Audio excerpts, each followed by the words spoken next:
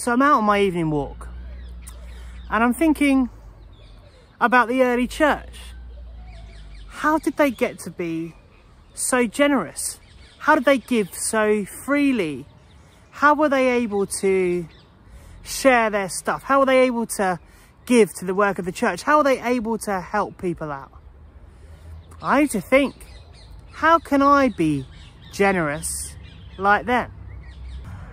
So guys, I was walking through the park and it hit me.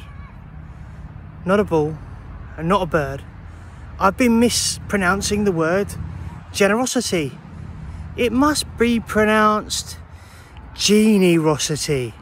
So what I'm going to do is head home and see if maybe finding a genie will help me be generous. I mean generous.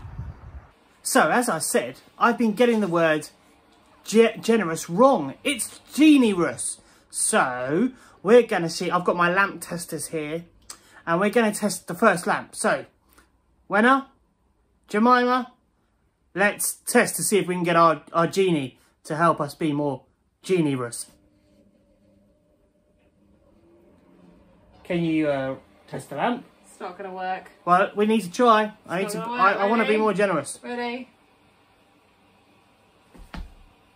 Oh, No. okay. Well, well, we've got more lamps. Let's go and find them. So, welcome to lamp test two. We need to find a genie so that we can be more generous. Okay, Wenna, ready? Let's find this. Let's find this genie. It's not going to work. Oh, Oh, but it does change colour. okay. No genie on that lamp. We need to go to lamp three. So, welcome to lamp test three. Jemima's lamp. Surely this one must be the one that has the genie. oh, oh. Was there a genie? There was no genie. Just light. Hmm. So we've tested three lamps. And we still haven't found a genie to help us be generous. But let's see. We've got this this one. Can you see it? Just there.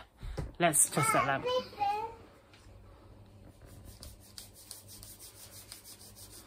No genie. No genie. I told you it wouldn't work. and I'm not feeling any more generous.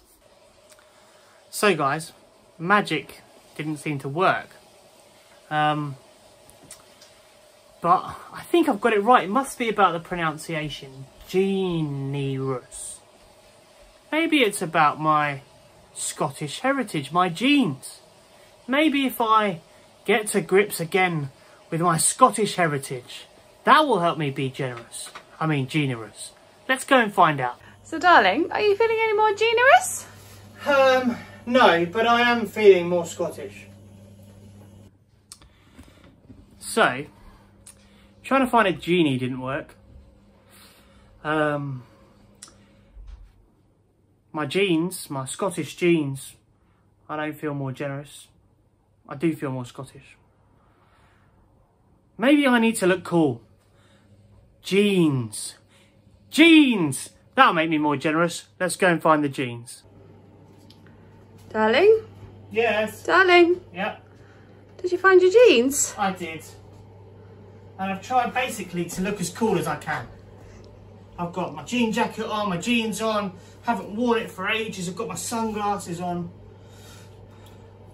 Has it helped you to be more generous? Um, no, but I do feel a little bit warmer.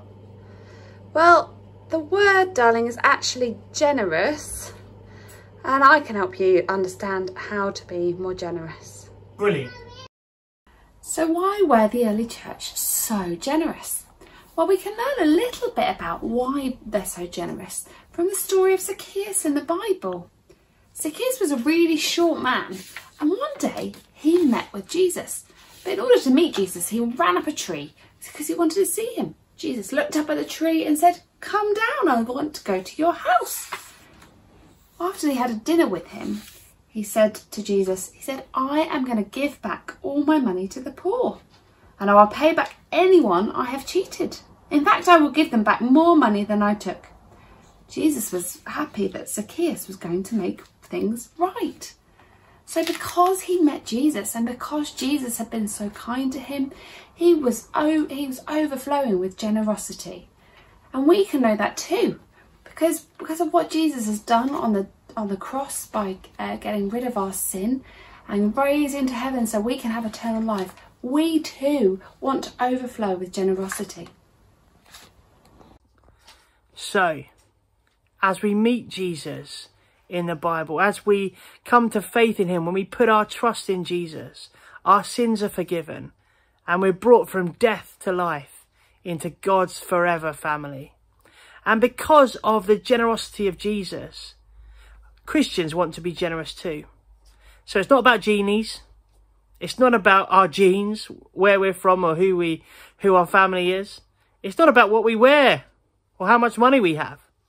It's because we know and love Jesus and want to share the things that he has given us with others.